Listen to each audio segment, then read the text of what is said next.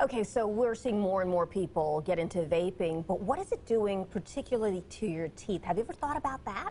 Yeah, we have Dr. Ron Wilson here with us from Greenville Smiles on this Wellness Wednesday to tell us more about, you know, what's going on when people pick up this uh, vaping. It can have uh, big consequences on your teeth and on your mouth in general, right? Oh, oh, yes, ma'am. It, it definitely can. Uh, depending on what you're talking about, um, there's plenty of what you call, you know, the constituents, of the little particles that are in there, whether it's propylene glycol, nicotine itself, or glycerin.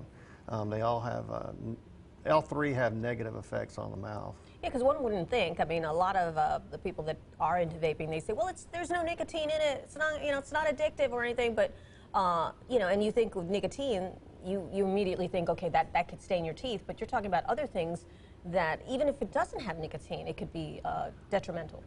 Well, right, right. Well, the, the majority of them do have nicotine. Um, uh, and, and when it comes to smoking, it's actually the tar that y- generally stains the teeth.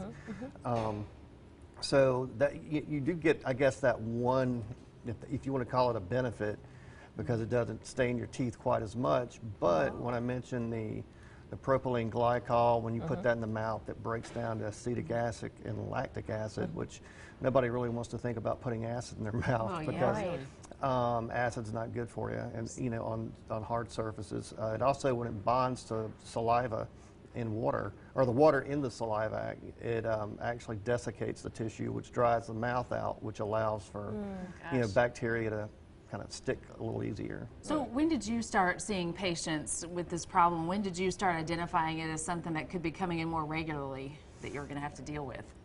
Well, and, and the the vape was actually invented, I think, in '65, mm-hmm. but nobody seemed to care about it until it was introduced and patented in 2003 by a Chinese scientist. And then I would say, in my practice, it became a little more prevalent probably about seven or eight years ago is when it really started kicking off. Wow. And the sad thing about it now is in, in- in the teenage population, uh, just from 2017 to 2018 alone, the increase in vaping uh, experiences went up 78% uh, in high school and 48% in middle school, which is kind of scary. So, you know, they're estimating at least 20% of high school Yeah. uh, students now are vaping in some form or you know another. Yeah, and you and you know, I, from personal experience, believe me, I, I've heard my teenager talk about that. It's like everybody in their in, in their school is is doing the vaping. My daughter Um, does the same thing. Yeah.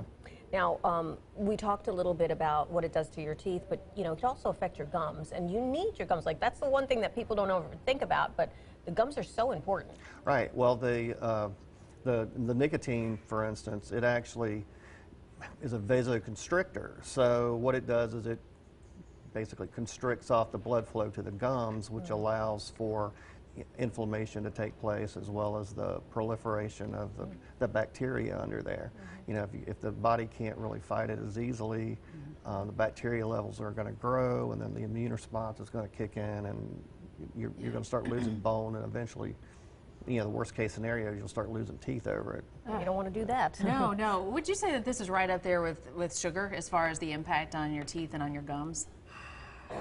It's probably a, mm, that's a tough one because sugar is in everything and it affects everyone. Yeah. Just well, just about. Um, But I don't know if it's an equal, but it, it, I think it's certainly worse in those that use it. Yeah. Mm-hmm. Mm. Yeah. Thank you so much for coming in and telling Oh, us yeah, about this, trouble. and Really probably information. some good Yeah. food for thought for a lot of mm-hmm. people that That's are out there that are thinking that vaping is okay, but you got to think about the consequences not only to your body but your, Your teeth. mouth, yeah, Yeah. exactly. All All right. right, thank Well, you. Dr. Wilson, Thanks thanks, for so much for having coming in, and uh, very nice tie, by the Yeah, way. nice Oh. Just tie. got his Yeah, my patients gave me grief about not wearing one. last you got it this We time. want to do that again. Oh, yeah. Oh, Greenville smiles, right? Yes. All right. Thanks so much. we'll be you. right back.